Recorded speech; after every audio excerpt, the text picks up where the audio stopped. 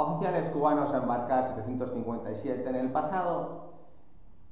Los tripulantes cubanos tenían un contrato de embarque en euros y dólares.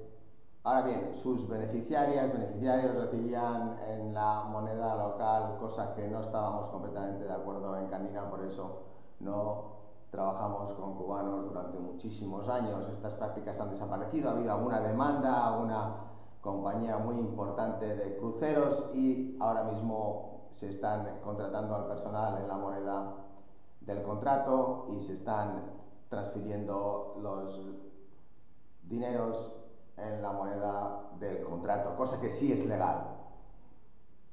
Las compañías han tenido que cambiar su forma de funcionar, con lo cual ahora mismo sí es viable volver a trabajar con oficiales cubanos. Como sabéis, tenemos la invasión de Ucrania, generando un 15% de menos de oficialidad mundial en el mercado, lo cual incluso también con la inestable situación que tenemos ahora mismo en Israel, Irán, Líbano, etcétera, genera que las posibilidades de crecer con tripulantes cubanos en la zona de Europa, América, haya crecido muchísimo, por lo cual podéis aplicar urgentemente. Sabemos que existe el monopolio de Selecmar en Cuba, cosa que también sería un poco a analizar y que algunas prácticas ponen prioridad a algunos tripulantes y a otras tripulantes no.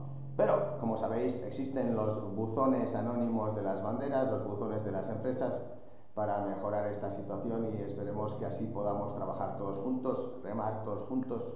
Incluso si queréis aplicar directamente en Candina podéis hacerlo y estudiaremos con muchísimo detalle porque hay una falta mundial impresionante y esto va a ir a más.